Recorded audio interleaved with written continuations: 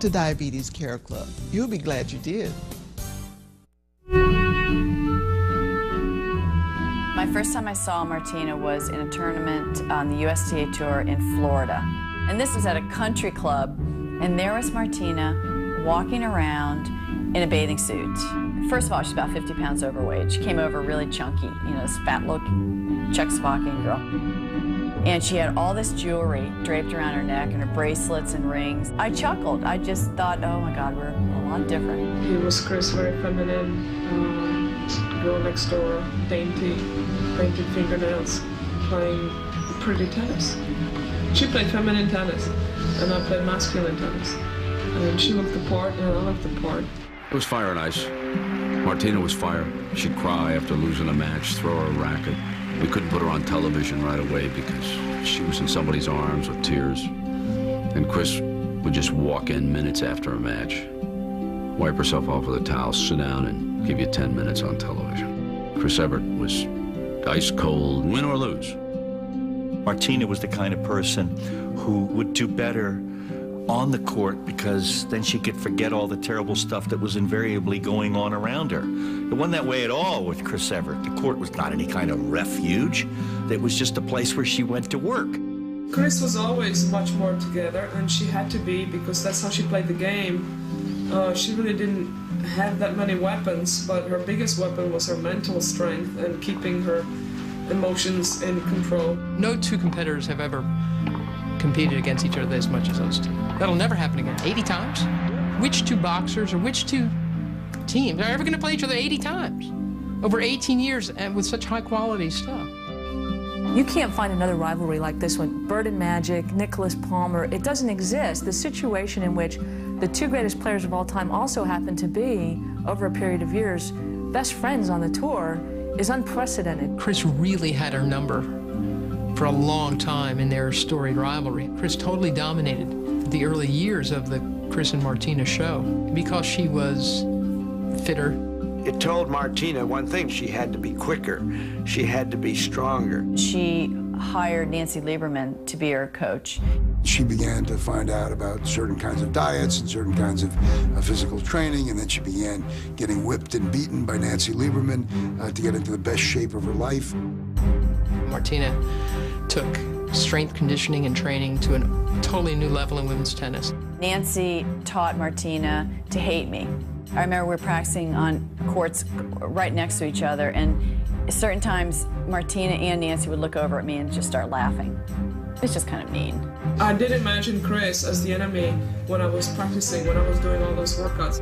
I imagined Chris on the other side of the net. A lot of drills I did were designed to beat Chris.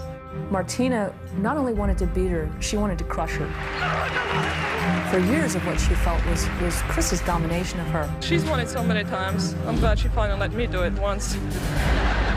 You asked Chris Evert what she was doing right after that. She was running the steps at uh, football stadiums to keep up with Martina. I did realize that a better athlete had come along and that it wasn't enough to be a great tennis player, that you had to be a great athlete. It jolted me and it shook me up and I was like, okay, what can I do to try to figure out to stay with her? I just wanted to stay with her. And for a while I did. Without each other, those two would never have been as great as they were. They just kept raising the stakes on each other. And as they kept raising each other's games, they raised the whole sport. Through the first five years of their 17-year rivalry, Evert won 20 of 25 matches. But when Chrissy retired in 1989, Martina led the series 43 victories to 37. The tide turning for her in the 1978 Wimbledon final, Martina's first slam victory over Chrissy. I was up like setting a break against Martina, but I was falling in love, so I didn't care. I said, well, obviously, you know, we'll go out tonight. She said, what are you talking about? Of course we're going out. You know, let's go. And that, to me, right then showed it that, to me, the Wimbledon finals didn't mean as much. We went out that night and the finals was forgotten. As really serious and, and dedicated to my tennis as I was, I was a sucker for romance. In the spring of 1979, Evert's honeymoon with John Lloyd was hardly over when her streak of 125 victories on clay was ended by Tracy Austin. She would lose five straight times to her young nemesis, and in 1980 was briefly dethroned as the number one player. Evert was struggling to find the right balance in her life. My mental energies and emotions were going into my tennis, and I didn't have a lot left over for a, an emotional relationship. Eventually, Evert and Lloyd would divorce. By 1982, tennis was back as her top priority, and she picked up a relationship that would never quite fade. In the mid 80s, they become friends again, and they do it in a very uh, touching way. On the court at the French Open uh, in 1985 and 1986, they played two of the greatest women's finals ever. Playing on her favorite surface, Evert, who had lost 15 of her last 16 matches to Martina, wins the first of back-to-back -back French Opens.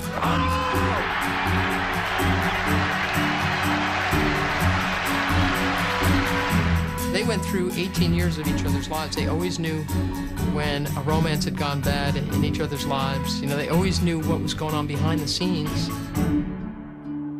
They made each other cry every other weekend. Stop struggling with heavy hoses that are kinked and deliver little or no water. Or worse, break. Introducing the incredible flexible hose. Turn the water on and it expands up to three times its original length. So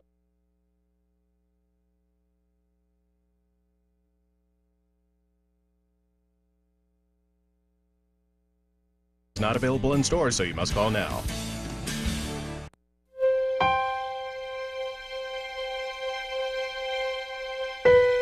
Billie Jean invented women's tennis, but Chris is the one who made it popular.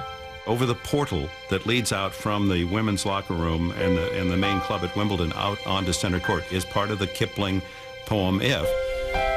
If you can meet with triumph and disaster and treat those two impostors just the same.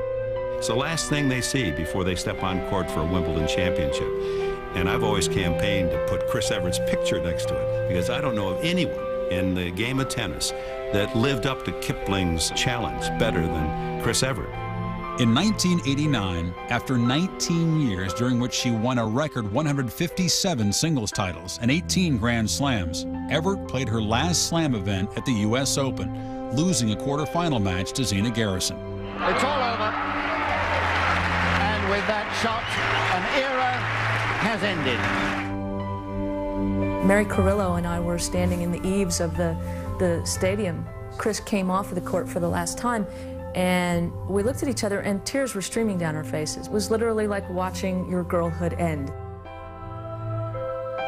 Waiting for her was Andy Mill, whom she married in 1988. With tennis now behind her, Evert would set out to raise a family. It's almost like I'm more of myself since I've had kids. I feel like more comfortable within my skin. This has been wonderful for me. I feel like I'm more like Chrissy. She said to me, I look at myself on film and I see this grim, fixed expression, and it wasn't me. It wasn't how I was. It wasn't who I was. All of the control that she displayed on the tennis court, she's almost delighted in letting go. When she won the US Open, she never shed a tear. When she won Wimbledon, she never shed a tear. But when her son's kindergarten teacher told her that she had a great kid, she bawled her eyes out. Late in 2006, Chris and Andy divorced after 18 years.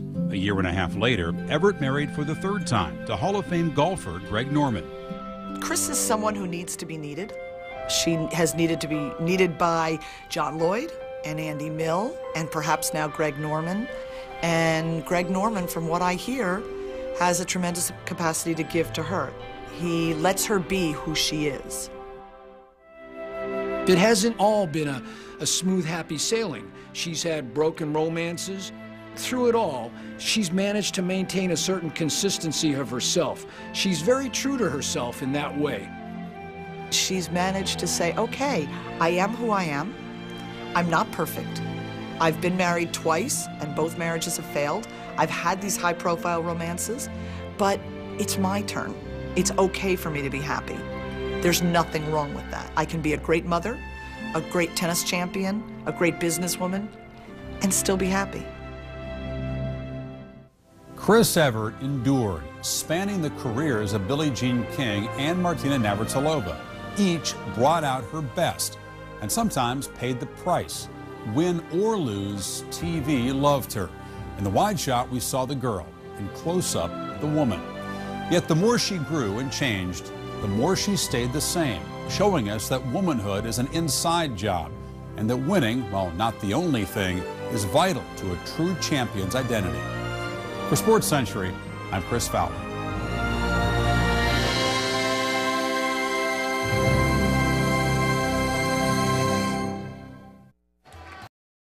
To find out about certain kinds of diets and certain kinds of uh, physical training, and then she began getting whipped and beaten by Nancy Lieberman uh, to get into the best shape of her life. Martina took strength conditioning and training to a totally new level in women's tennis. Nancy taught Martina to hate me. I remember we were practicing on courts right next to each other, and certain times Martina and Nancy would look over at me and just start laughing. It's just kind of mean. I did imagine Chris as the enemy when I was practicing, when I was doing all those workouts. I imagined Chris on the other side of the net. A lot of drills I did were designed to beat Chris. We're ever going to play each other 80 times? Over 18 years and with such high quality stuff. You can't find another rivalry like this one. Bird and Magic, Nicklaus Palmer, it doesn't exist. The situation in which the two greatest players of all time also happen to be, over a period of years, best friends on the tour is unprecedented. Chris really had her number for a long time in their storied rivalry. Chris totally dominated the early years of the Chris and Martina show because she was fitter. It told Martina one thing she had to be quicker, she had to be stronger. She hired Nancy Lieberman to be her coach. She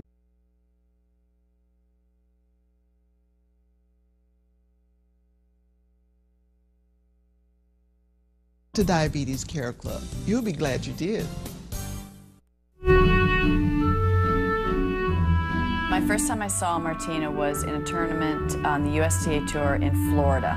And this was at a country club, and there was Martina walking around in a bathing suit. First of all, she's about 50 pounds overweight. She came over really chunky, you know, this fat look Czechoslovakian girl.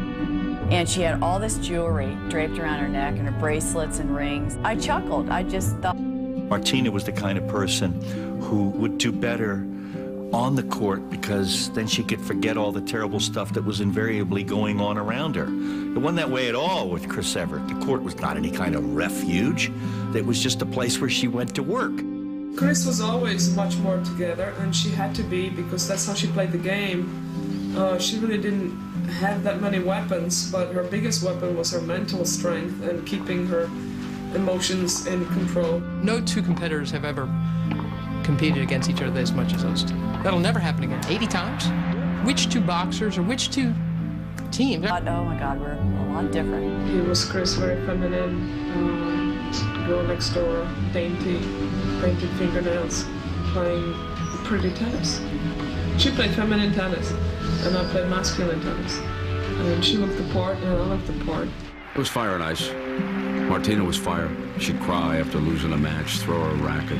We couldn't put her on television right away because she was in somebody's arms with tears. And Chris would just walk in minutes after a match, wipe herself off with a towel, sit down, and give you 10 minutes on television. Chris Evert was ice cold, win or lose.